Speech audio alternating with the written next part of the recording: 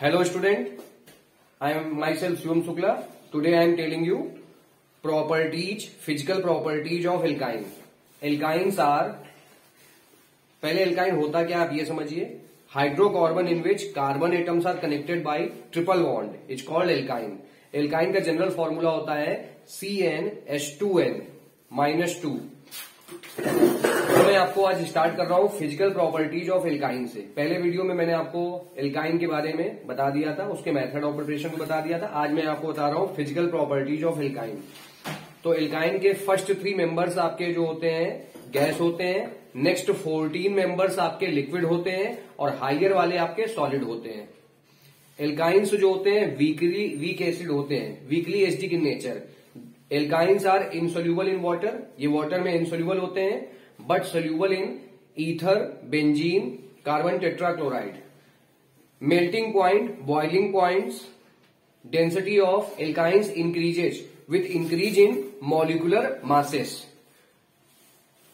इसमें जो आपका एथाइन होता है एथाइन एथाइन जो आपका होता है कलरलेस होता है, इसकी एक कैरेक्टरिस्टिक स्मेल होती है.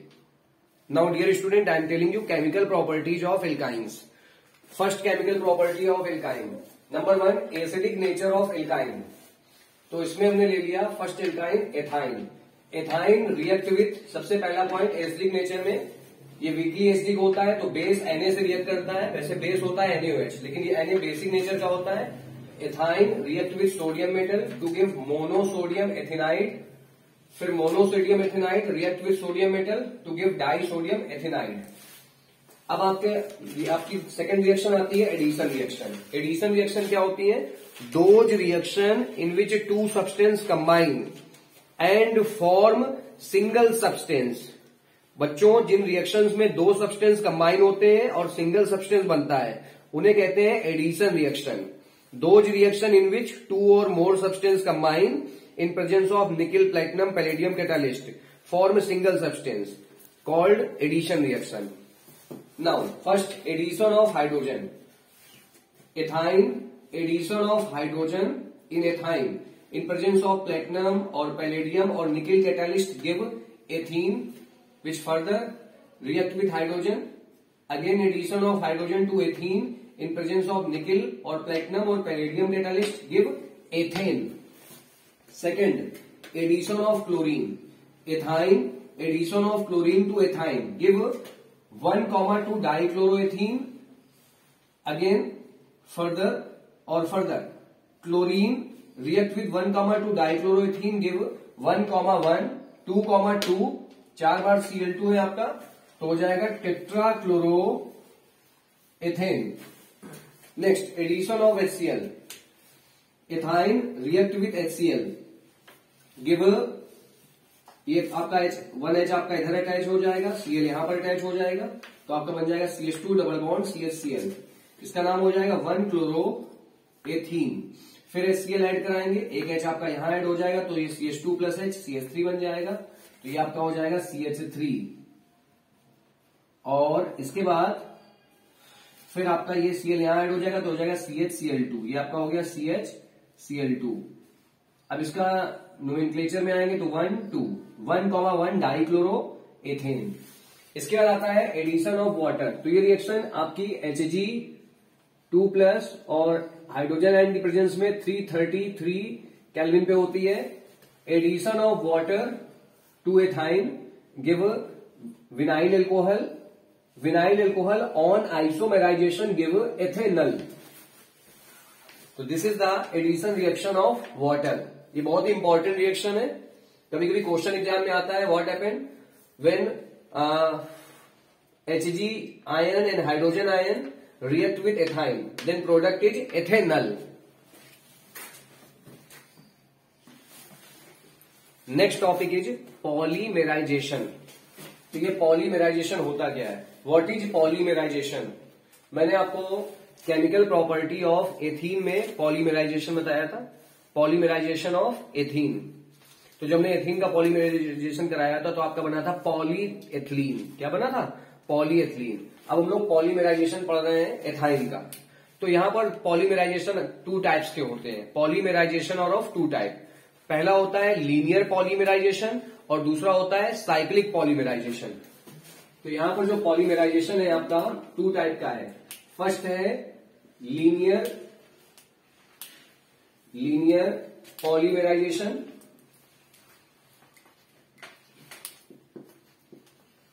और सेकेंड है आपका साइक्लिक पॉलीमेराइजेशन साइक्लिक पॉलीमेराइजेशन तो सबसे पहले हम लोग बात करते हैं लीनियर पॉलीमेराइजेशन की. लीनियर का मतलब होता है स्ट्रेट लाइन जैसे कि आप जानते हो, एथाइन का फॉर्मूला होता है C H triple bond C H ठीक?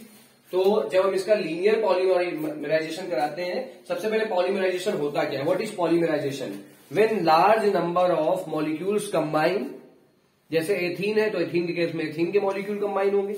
यहाँ पर हम लोग एथाइन ले रहे हैं तो एथाइन के मॉलिक्यूल कंबाइन होंगे। तो when large number of molecules combine अब यहाँ पर हम लोग एथाइन का पॉलीमराइजेशन पढ़ रहे हैं तो ethyne molecules combine when large number of ethyne molecules combine to form big molecule अब ये जो रिएक्शन पॉलीमराइजेशन की है हाई टेम्परेचर पे होगी high temperature high pressure catalyst की प्रेजेंस में। तो पॉलीमराइजेशन क्या होता है? When large number of small molecule combine at high temperature high pressure in presence of catalyst to form big molecule this big molecule is called polymer and this process is known as polymerisation अब यहाँ हम लोग पढ़ रहे हैं linear polymerisation इसके दो type होते हैं लीनियर लीनियर का मतलब स्ट्रेट लाइन में। मॉलिक्यूल्स जब स्ट्रेट लाइन में कंबाइन होंगे तो जब इसके large number of molecules combine होंगे एथाइन के तो ये बनाएँगे पॉलीएथाइन और इसका कॉमन नेम होता है एसेक्लीन तो large number of acetylene molecule combine होंगे। ठीक है? तो ये बनेगा पॉली एसेक्लीन क्या बनेगा? Polyacetylene large number of ethyne molecules combine large number means N number N means one thousand two three thousand तो large number of ethyne molecules ऐसे कंबाइन होंगे। और जब large number of ethyne molecules आपस में combine होंगे तो आपका बनेगा पॉली एथाइन पॉली यहाँ पर हमारा लिया गया है एथाइन तो यहाँ बनेगा पॉली एथाइन और पॉली एसेक्लीन यहाँ पर क्या बनेगा? पॉली एथाइन और polyacetylene this is the formula of polyacetylene और poly ethyne acetylene common name होता है और एथाइन होता है आयुपीएसी नेम इतना क्लियर हो गया? Yes. अब हम लोग चलते हैं साइक्लिक पॉलीमराइजेशन में। साइक्लिक पॉलीमराइजेशन में क्या होगा? कि आपका साइकिल कंपाउंड बनता है। When ethyne is passed over red hot iron tube अब हमने एथाइन ले लिया। एथाइन का फॉर्मूला हम लोग सी टू एच टू भी लिख सकते हैं। ये एथाइन का फॉर्मूला हो गया, और इसको हमने रेड हॉट आयरन ट्यूब पे पास कर दिया। क्वेश्चन बहुत ही इंपॉर्टेंट है बोर्ड में आता है एग्ज़ाम में आता है आपके, कि जब हम एथाइन को रेड हॉट आयरन ट्यूब पे पास करते हैं तो क्या बनता है? तो आपका बनता है बेंजीन क्या बनता है?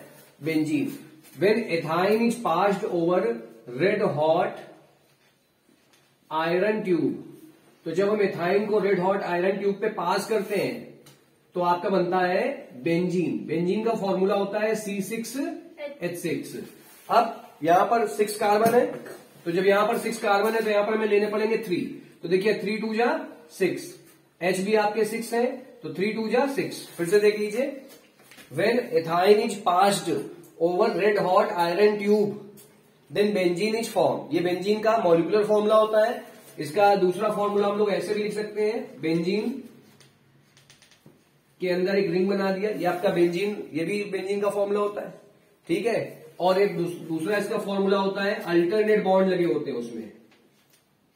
देखिए, ये बॉन्ड लग गया। इसको आप लिफ्ट कर दीजिए फिर बॉन्ड फिर ये। ये भी बेंजीन का फॉर्मूला होता है। तो when ethyne is passed over red hot iron tube then benzene is form question exam में आता है what happen when ethyne is passed over red hot iron tube तो इस केस में क्या बनता है? बेंजीन बनता है। क्या बनता है?